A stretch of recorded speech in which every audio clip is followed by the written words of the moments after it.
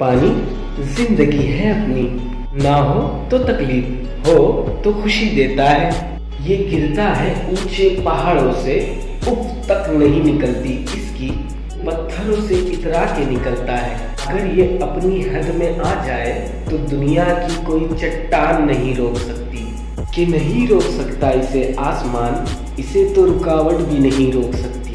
ये सुना है हमने लोगों से कि धरती पे सबसे ज़्यादा पानी है, फिर भी किल्लत है इस चीज़ की, क्योंकि इसे संभालते नहीं है लोग। हर घर की यही कहानी है।